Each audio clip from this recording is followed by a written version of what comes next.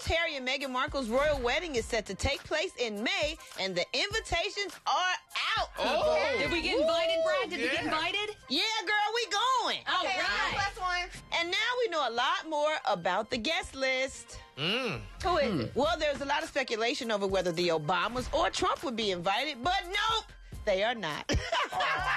Instead, the couple did something pretty cool.